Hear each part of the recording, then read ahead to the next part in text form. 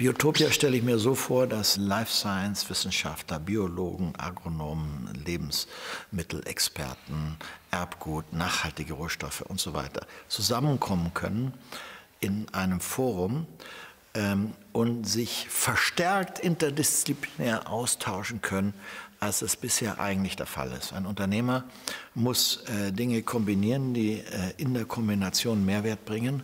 Und äh, wenn man so zwei, drei Wirkprinzipien zusammen hat, dann hat man schon was. Aber je mehr zusammenkommt, desto origineller die Lösung, desto größer der Wettbewerbsfortschritt. Also ich kann mich dafür begeistern, dass dieses Museum nicht nur ein Museum ist, was ja auch experimentell in den Fußstapfen des Deutschen Museums und mit Anschauungen und Versuchen gehen soll, sondern daneben äh, eine Community, ein Denken, eine Plattform geschaffen wird.